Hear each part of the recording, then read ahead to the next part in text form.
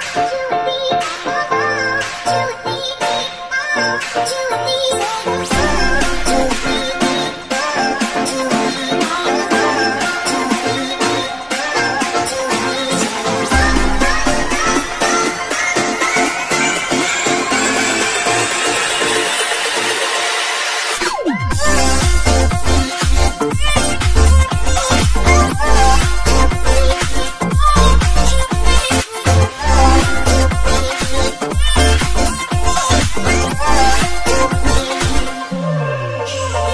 Peace.